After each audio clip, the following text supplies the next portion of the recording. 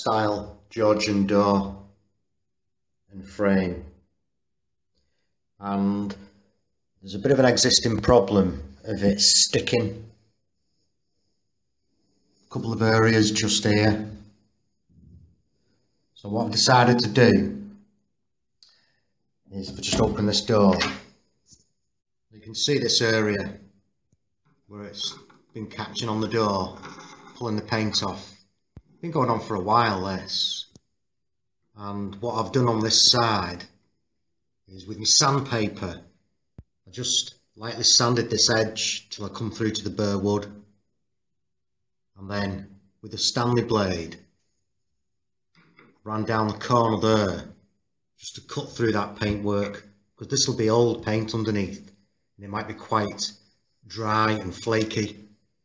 So if I was to try and do anything with this then the chances are it would crack round either way and cause more damage so now that I've sanded that edge and cut through there, I can just get my shave hook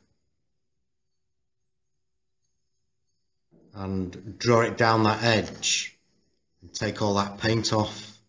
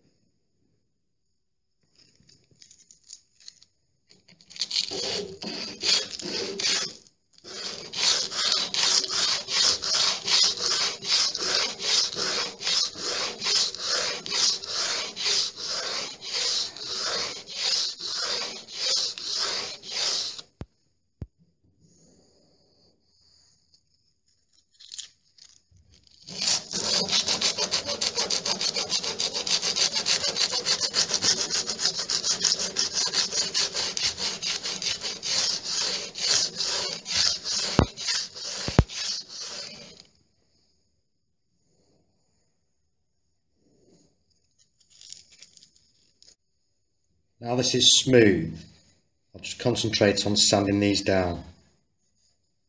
And I'll just take a little bit off around this hinge. Looks like it's been taking it off here as well. So I'll just give it a sand. Both these areas now, I've got less of a gap. But I think I'm going to have to tack it all off on the casing, all the way up. We see down at this bottom one as well not too bad. But when I open the door just on this back edge I've still got a bit of a lip of paint. So I'll get me scraper on it again and draw it up this edge and clean it all off. But see all the hinges I've cleaned back give them a, a good scrape and a sand so they won't stick here. And all this has been sanded back and then really fine sandpaper. And now that's ready for priming. I'll just get rid of this paint on this side. Now all this edge is stripped and sanded. You'll be able to run a piece of cardboard down this gap without it getting caught. So that's good enough for me now to get couple of coats of paint on that. Start with a very, very thin primer, just to harden off the grain. And then I can give it another light sand. And that'll be good. Be able to finish it. You can just see that area that I'd shaved back before. Just prime that up. That's looking okay there. I'll give that a fine sand and then this is going to have two coats of satin wood. You can see the difference there. At this stage I'm not after opacity, I'm just after sealing the woodwork with a very thin coat of primer. So down here, the other patch that was repaired. Now that may want a little bit of filler on it, but that's not a problem. What I'll do is I'll coat it all up with satin wood when this is dried and give it a light sand then. And if there's any filling needs doing, I'll just put some filler on there then. I can touch it up when it's dry and then coat up again the whole door. But this will be getting two coats.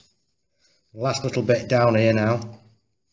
Um, literally, I, I don't want to pile it on. Just get a little bit on.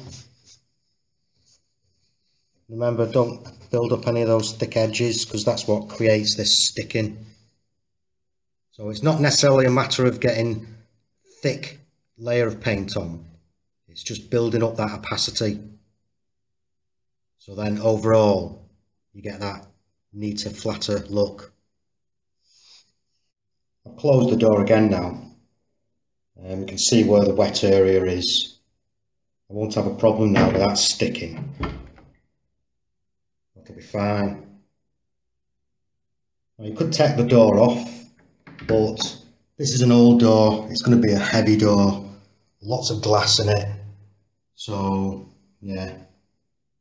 Better to try and do something like this rather than attempt to take this off on your own.